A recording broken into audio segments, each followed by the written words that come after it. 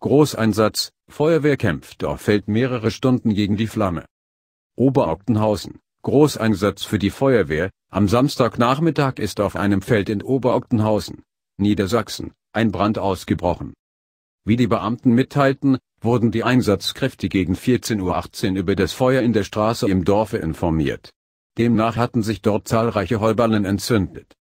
Vor Ort begann die Feuerwehr unter schwerem Atemschutz mit der Brandbekämpfung. Unter anderem wurden die Ballen mit Hilfe von Treckern zerlegt, um ein besseres Ablöschen zu ermöglichen. Im Laufe des Einsatzes mussten gleich vier lokale Ortswehren nachalarmiert werden, auch ein Rettungswecken stand vor Ort bereit. Verletzt wurde aber niemand. Es dauerte letztlich mehrere Stunden, bis die Flammen gelöscht waren und die Einsatzkräfte abrücken konnten. Am Sonntagmorgen fanden zudem noch einige Nachlöscharbeiten statt. Die Polizei hat die Ermittlungen zur Brandursache aufgenommen